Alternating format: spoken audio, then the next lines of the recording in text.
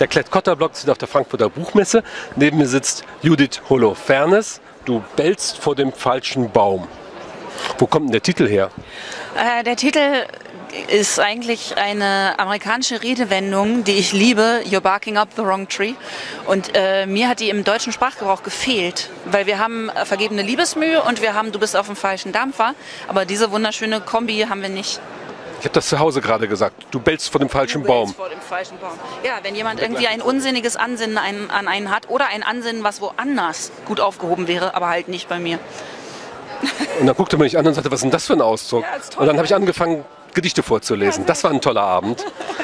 Sie sind Musikerin, Songschreiberin und Autorin. Als Sängerin und Gitarristin der Band Wir sind Helden haben sie Musikgeschichte geschrieben.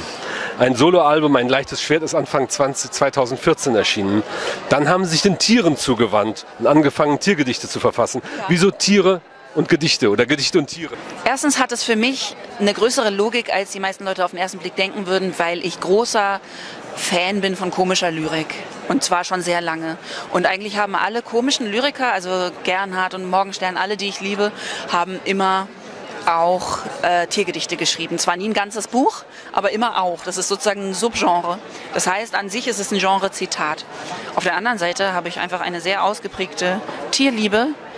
Und auch mein Humor ist sehr geprägt über das Lachen über Tiere. Also ich liebe Tiere, aber ich kann auch gut über sie lachen. Sie wuchsen mit Tieren auf. Zu Hause hatten sie einen ganzen Stall von Tieren.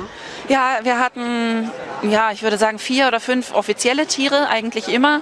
Und Ja. dann haben wir aber auch noch Tiere dazu gerätet. Also meine Mutter hat immer irgendwo Krähen mit gebrochenem Flügel oder einen verflogenen Wellensittich oder äh, ich meine, ich habe Regenwürmer aus äh, Straßenbahnschienen gerettet. So. Einen Igel hatten wir einen Winter lang. Und haben die Tiere sie untereinander vertragen? Ganz gut. Also wir hatten drei sprechende Vögel, die haben so eine Art Comedy-Trio gemacht, weil die sich nicht so gut verstanden haben. Und die Beos, die, also wir hatten zwei sprechende Beos und einen ganz reizenden äh, Papageien. Und die Beos waren um einiges eloquenter und haben den Papagei immer so ein bisschen in die Tasche gesteckt. Jetzt kommt bei Tropen ihr Band raus, habe ich schon gesagt. Du bellst vor dem, vor dem falschen Baum mit Zeichnung von Vanessa Carré. Ja. Jetzt seien Sie mal ganz ehrlich, waren zuerst die Illustrationen da und dann die Gedichte oder war das umgekehrt? Also es waren schon zuerst Gedichte da am Anfang. Ich habe die am Anfang auf meinem Blog veröffentlicht, weil es so eine Spielerei war und irgendwie auch ein Gesellschaftsspiel. Die Leute haben angefangen, sich Tiere zu wünschen und es hat sich dann so verselbstständigt. Und als uns aber klar geworden war, dass sie das Buch illustrieren muss, war das ein, ein gegenseitiges Ding. Sie hat sich dann auch einfach Tiere gewünscht, die sie malen wollte, beziehungsweise ich habe Tiere beschrieben, bedichtet, von denen ich Vanessas Bild sehen wollte. Was fasziniert Sie an Tieren?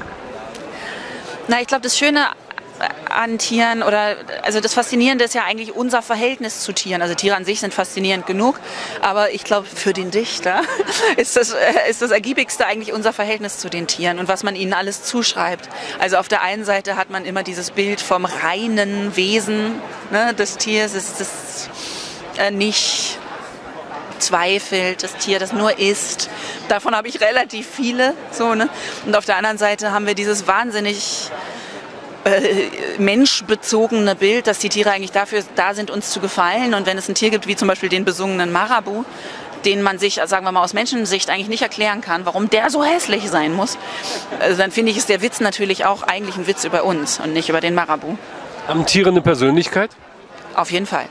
Klar. Also unterschiedlich, ich weiß nicht, wie Nacktschnecken da so aufgestellt sind, äh, persönlichkeitsmäßig.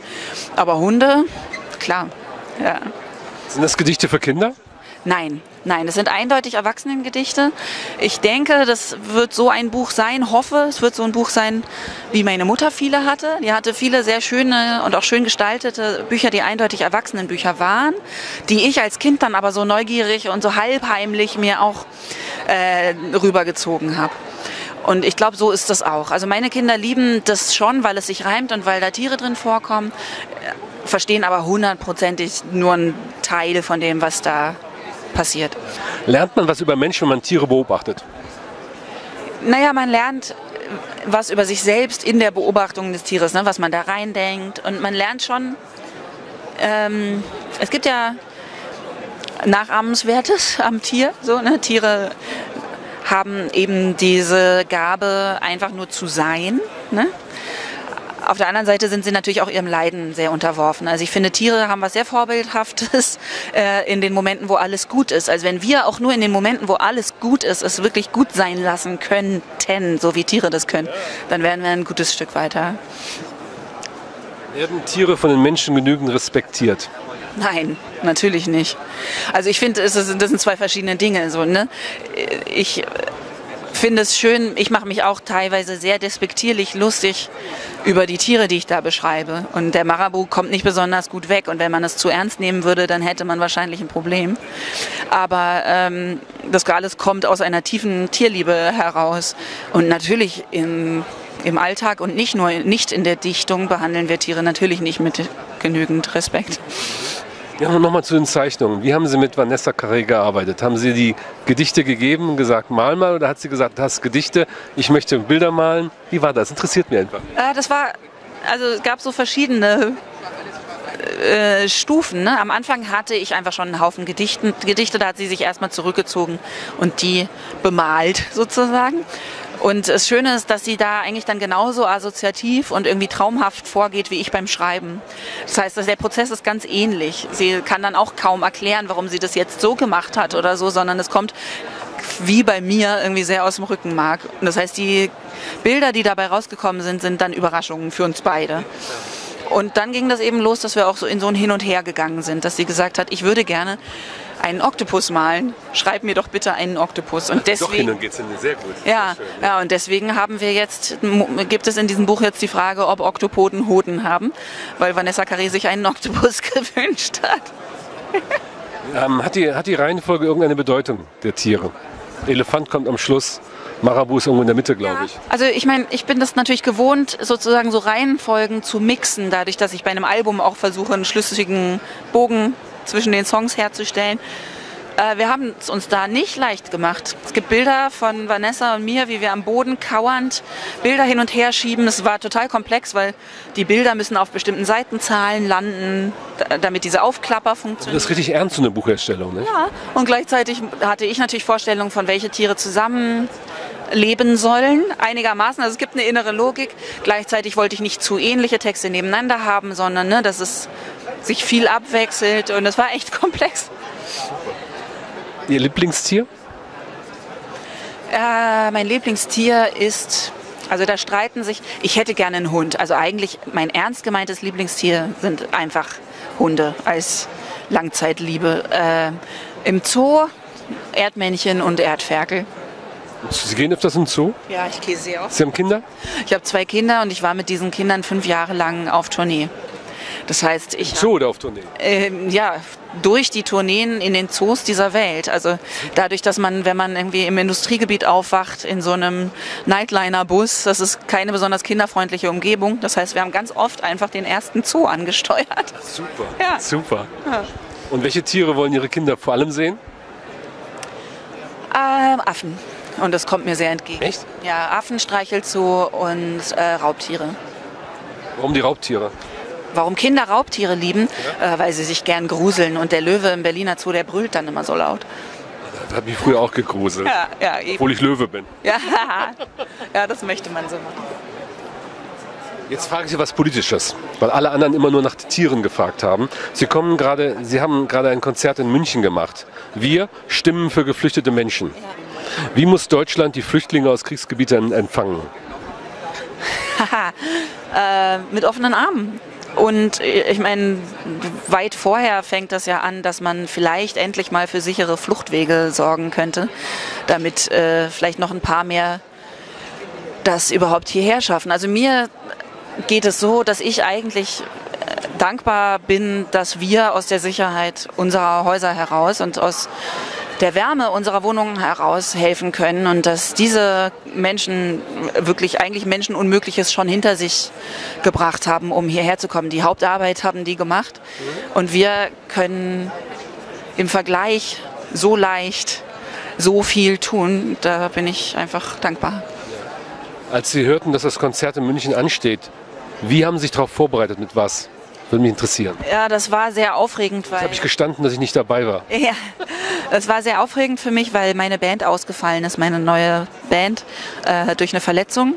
Und ich wusste, ich fahre alleine hin. Und daraus hat sich aber eine wunderschöne Gelegenheit ergeben, weil ich tatsächlich ähm, das Glück hatte, mit einem syrischen Pianisten zusammen aufzutreten, spontan, äh, der auch mit traurig ja, vor dem natürlich insgesamt sehr schwierigen und traurigen Hintergrund schon durch die Presse gegangen war, als der Pianist von Yarmouk, der heißt Ehem Ahmad. Und von dem gibt es herzzerreißende Bilder, wie er mit seinem Klavier in den zerbombten Straßen von Yarmouk spielt. Und er hat das drei Jahre lang durchgezogen unter Belagerung und ist erst dann geflohen, als die IS eingerückt ist und sein Klavier verbrannt hat. Und den habe ich, der ist seit zwei Wochen erst hier. Und den habe ich dort am selben Morgen kennengelernt. Also wir haben uns morgens um 8.30 Uhr kennengelernt, geprobt, Soundcheck gemacht, nochmal geprobt bis kurz vorm Auftritt und dann zwei Songs gespielt. Einmal äh, Land in Sicht von Tonsteine Scherben und einmal einen völlig neuen Song, den ich noch nicht mal, also den hatte ich drei Tage vorher fertig geschrieben. Also einen unveröffentlichten Song, der einfach für mich genau das ausgesagt hat, was ich das Gefühl hatte, das Einzige, was ich das Gefühl hatte, sagen zu können. Und es war wahnsinnig schön. Sehr Sagen Sie ein paar Stichpunkte, was drin stand. Also es ist als Gedicht jetzt gerade auf Twitter. Habe ich als letztes habe ich das in Einzelteilen auf Twitter gepostet. Baust auch den Artikel einfach mit ein. Ja. Ja, das mache ich. Ja, schön. Ja? Vielen Dank. Danke ich wünsche Ihnen viel Erfolg für das Buch. Jetzt habe ich noch vergessen, Sie müssten eigentlich noch ein Gedicht lesen. Haben alle anderen auch gemacht, oder? Wollen wir? Eins? Machen wir noch? Ja. Welches sollen wir nehmen? Ähm, den Gecko lese ich immer vor. Nicht, weil er so kurz ist, sondern weil er so schön ist. Aber das ist wirklich zu kurz. Der ist sehr kurz, ja. Ähm, ich bin Elefanten-Fan.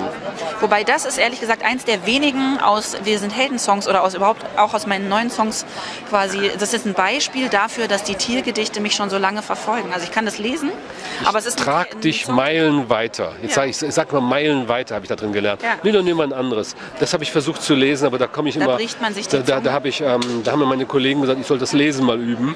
Und seitdem lese, habe ich den Gecko erstmal gelesen, die Qualle. Ähm, da gab es noch den, Entschuldigung, wenn ich suche, es gibt ja keine Seitenzahlen wegen ja, den. Genau. Was, wegen was den ähm, Welchen denn? Den Wolf, wir nehmen den Wolf. Der Wolf, ja? Der Wolf. Der Wolf. Ein du bist ein Wolf, die Pfote zuckt. Genau. Wie geht's weiter? Das ist lustigerweise das Gedicht, das sich immer die Männer aussuchen. Ich weiß nicht warum.